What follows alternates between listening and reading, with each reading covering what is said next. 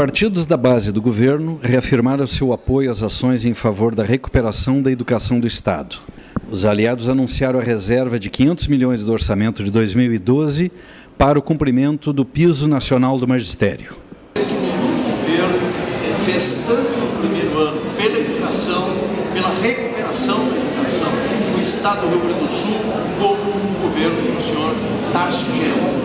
Nós estamos aqui para afirmar que eh, as pelo governo em relação à educação e ao magistério têm um total apoio, a solidariedade das nossas bancadas, são políticas corretas de recuperação eh, salarial dos professores e também de medidas necessárias do ponto de vista pedagógico e da estrutura do segundo grau, da estrutura do ensino médio, que há muito tempo são reivindicadas pela sociedade gaúcha, em especial a reforma do ensino médio.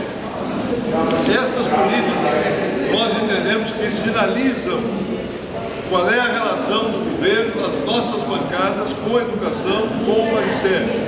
Acabamos de aprovar aqui na Comissão de Finanças e Orçamento é, um reajuste para o ano que vem de 1 bilhão e 100 milhões a mais para a educação. 1 bilhão e 100 milhões a mais. E uma parte considerável disso, 400 milhões, que hoje na manhã, lá no Palácio, o governador eh, nos autorizou, inclusive, a que nós tomássemos medidas no sentido de, se possível ainda antes da votação em plenário, colocássemos mais 100 milhões à disposição uh, do, do, do, recurso destinado ao pagamento do piso nacional ao magistério. Relação à, Assembleia de amanhã.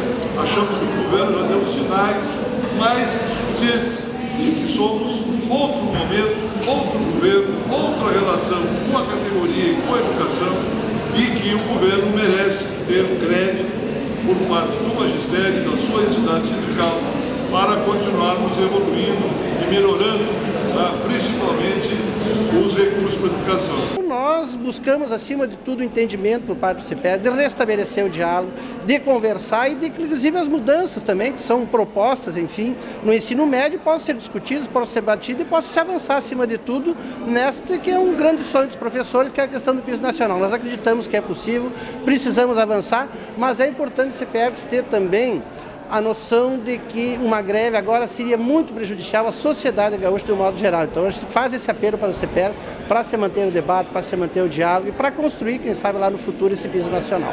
Nunca houve eh, interrupção da negociação, né? quem está interrompendo, chamando uma greve é o CEPERS e nós esperamos que haja uma reflexão sobre ah, essa atitude do CEPERS.